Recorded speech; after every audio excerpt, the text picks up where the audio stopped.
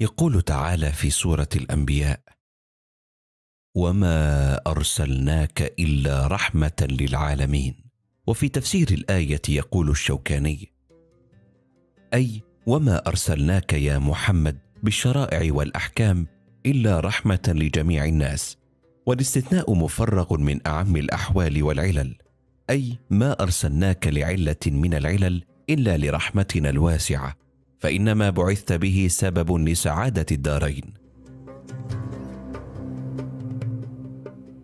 الرحمة من صفات الرسول الكريم ومن أوجه سيرته العطره صلى الله عليه وسلم. مدحه بها الله تعالى وجعلها سببا في إرساله للخلق أجمعين ولم تكن حكرا على المسلمين والمؤمنين. ومن مظاهر رحمته بغير المسلمين رفضه الدعاء على كفار قريش في معركة أحد حين طلب منه الصحابة.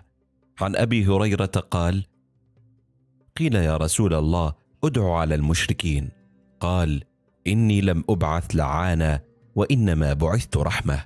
وكان صلى الله عليه وسلم رحيما بالصغار فلا ينفك يلاطفهم ويقبلهم ويلاعبهم. عن أسامة بن زيد رضي الله عنهما قال كان رسول الله صلى الله عليه وسلم يأخذني فيقعدني على فخذه ويقعد الحسن على فخذه الآخر ثم يضمهما ثم يقول اللهم ارحمهما فإني أرحمهما. رحمة الرسول الكريم تجاوزت البشر لتشمل الحيوان فقد حث صحابته وعموم المسلمين على الرفق بالحيوانات ونهى عن تعذيبها فهي من خلق الله.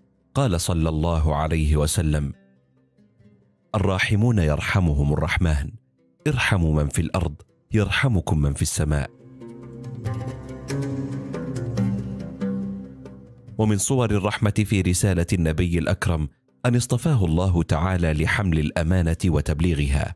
خلق الله الأرض وارتضى لأهلها الإسلام دينا ومحمدا صلى الله عليه وسلم نبيا ورسولا يدعو الناس إلى الدين الحق. ويدلهم إلى خير السبيل. قال صلى الله عليه وسلم يا أيها الناس إنما أنا رحمة مهداة.